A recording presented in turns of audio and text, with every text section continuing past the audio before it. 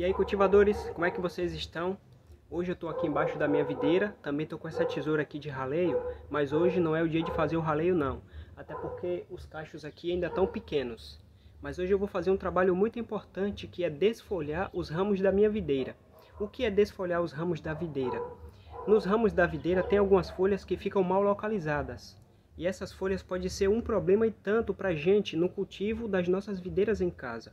Então eu vou explicar para vocês que folhas são essas, onde, qual o benefício que a gente pode ter em tirar essas folhas e também qual o problema que a gente pode ter se não tirarmos essas folhas. Outra coisa importante, ó, além de fazer o desfolhamento dos ramos da videira que eu vou fazer aqui, eu também vou fazer o desponte, porque tem dois dias que eu não venho aqui dar uma olhada na minha videira e já vi que a maioria das videiras que eu fiz o desponte há um tempo atrás já estão todas com os ramos grandes, mas que precisa também mais uma vez fazer o desponte do, dos ramos. Então, além da desfolha, eu também vou fazer o desponte, tirar gavinhas, tirar alguns netos e por aí vai. Então vamos lá, acompanha o vídeo direitinho aí do início ao fim, para vocês pegarem aí a ideia e aplicar nas suas parreiras também, beleza?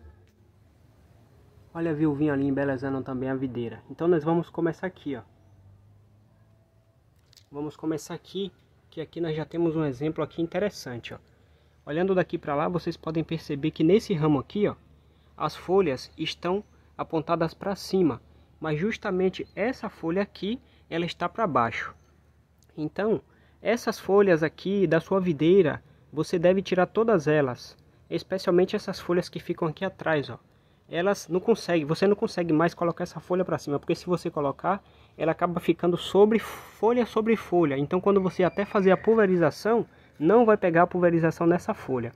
Mas vocês percebem que antes, ó, ela tá até com as pintas aqui, porque ela já foi pulverizada com calda bordaleza. Mas só que agora já tem muita folha aqui, isso significa que as próximas pulverizações eu não vou conseguir fazer nessa folha aí. Então, qual é o problema se a gente não tirar essa folha? Bem, essa folha ela pega pouco sol. Isso significa que se essa folha continuar aqui, ela vai permanecer por muito mais tempo molhada. E aí é o momento em que o míldio, o ferrugem, o oídio talvez, a cochonilha vai afetar as videiras.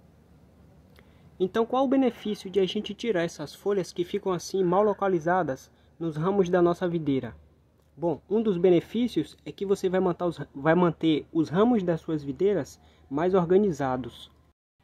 Um outro benefício de a gente tirar essas folhas é que vai ter mais luz solar embaixo da sua videira. Então, quando você tem uma organização melhor, quando você fica ali atento à necessidade que a sua videira precisa, especialmente no que diz respeito a tirar essas folhas que ficam viradas para baixo, consequentemente vai entrar mais luz solar, a sua parreira de uva ou suas parreiras vão ficar mais areadas, e isso significa que vai evitar mais doenças possível na sua videira.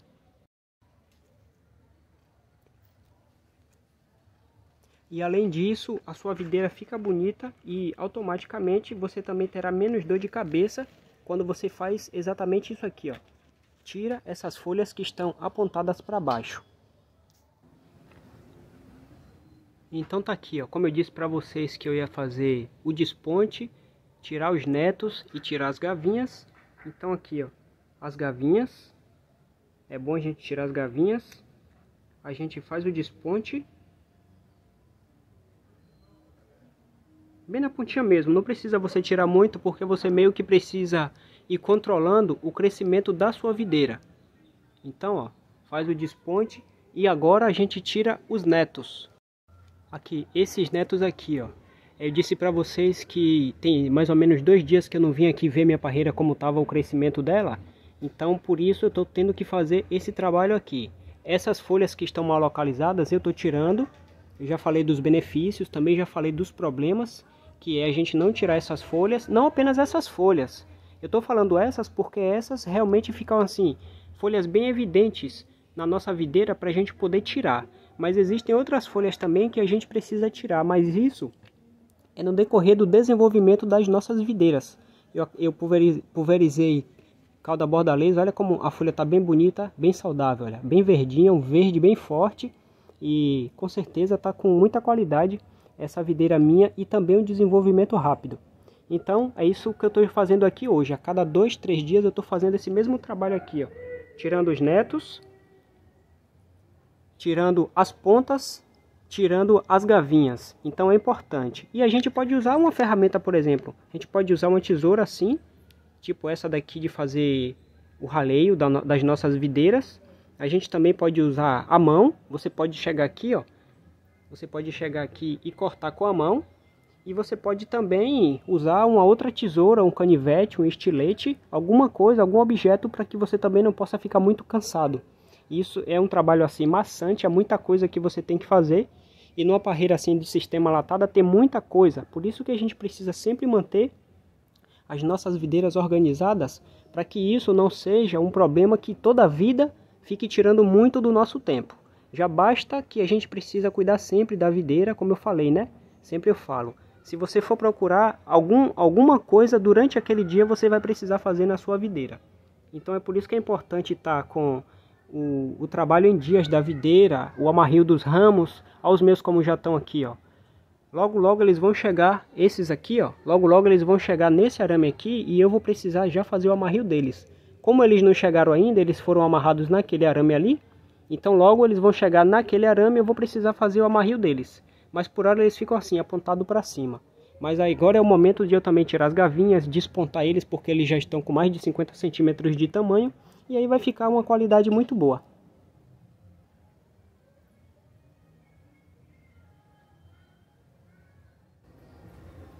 Então assim, ó, não deixe de fazer esse trabalho.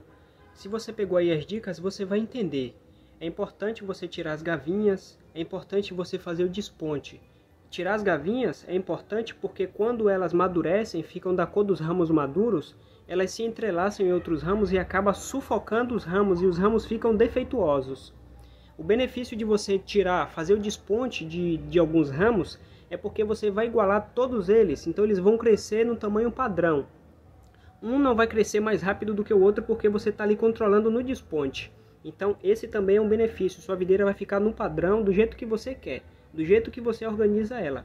E você tirar os netos vai ajudar no desenvolvimento desses ramos, porque se você mantém muitos netos na sua videira, esses netos vai acabar roubando a energia dos ramos que precisam desenvolver com mais qualidade. Então esses são alguns benefícios que a gente tem por manter o trabalho das nossas videiras em dias. Assim elas ficam mais bonitas, mais organizadas e a gente vai aprendendo o manejo e o cultivo da videira de uma forma mais interessante. A gente vai passando a gostar ainda mais. Então fica essas dicas aí. Vou ficando por aqui mais uma vez. Curta o vídeo, compartilhe, se inscreva no canal se você ainda não se inscreveu.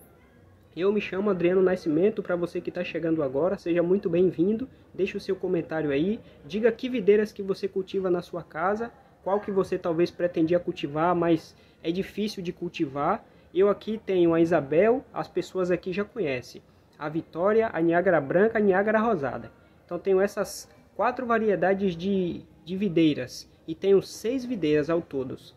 Então fica aí essa dica para você que ainda não cultivou uma videira e pensa em cultivar. É muito bom, dá trabalho assim como muitas outras plantas, mas o resultado é positivo e significativo. Depois de mais ou menos 120 dias que você tiver feito todo aquele cuidado, você vai ver o resultado em sentar, comer aquela uva saborosa, gostosa, doce e especialmente orgânica. Beleza?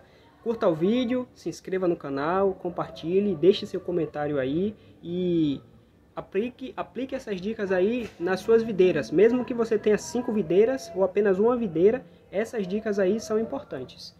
Valeu? Um abraço a todos e até um próximo vídeo de Cultivando Variedades.